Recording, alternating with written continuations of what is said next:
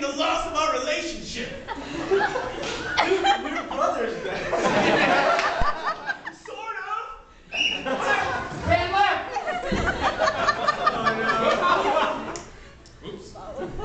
I just dropped a donut.